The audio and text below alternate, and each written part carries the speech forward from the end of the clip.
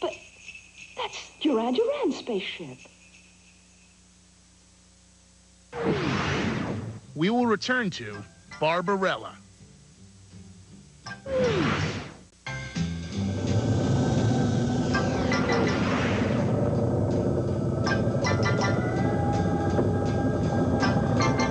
When did you say this Barbarella was made? 1968. Incredible. What? Well, I had no idea that humans had even conceived of shag. Shag? Yes, Barbarella's ship. It obviously employs a shag-based propulsion system. Are you talking about carpeting? Yes, shag. The universe's most potent power source. It makes nuclear fusion look like, well, on Grott's planet, our whole power grid is run on shag. Where do you find it? Well, you used to be able to find it in most homes. In the 70s, you could most commonly find it in a place that we call the rec room. And yet you have not even breached the limits of your own solar system.